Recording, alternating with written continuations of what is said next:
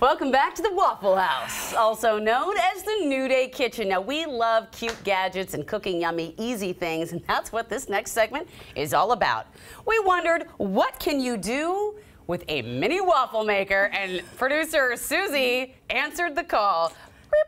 Just about anything. Just to about a waffle anything. right. As we are about to find out. So let's jump right Yeah. in. So first things 1st I'm in love with these little mini wafflers. I just think they're cute, and they're made by Dash. And so I called them up and said, "Hey, I need some mini wafflers because I, I had thought this would be fun to see what would go in there." And I love them because they're all the price points between 15 and 20 dollars, and they're just adorable. They even They're come in small, they don't take up a lot of space. Right, Great and for a dorm room. do this dorm room, kids after school. Yeah. So we thought, what could we do in a waffle So what'd you make me? So first of all, we did cheese sticks.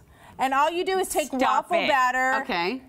just like this, coat them and put them in there. And here, Oh, oh, you made me so one. it's just a cheese stick Oh, with a little you- bit of with waffle little batter, marinara little sauce? marinara Okay. Mm. sauce or pizza sauce for kids. They like that.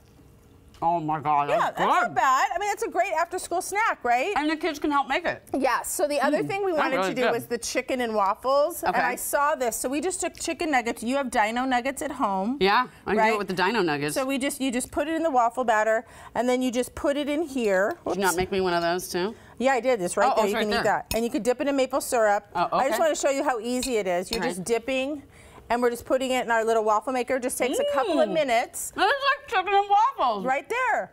And the, uh, the, kids can own it. Obviously, need a little supervision. I'm just Okay. gonna eat my way through this segment if that's Totally cool. fine. I, this one's one of my favorites. Okay. I told you they had cute shapes. This is actually the snowman shape. I love this. We're just gonna make pizza.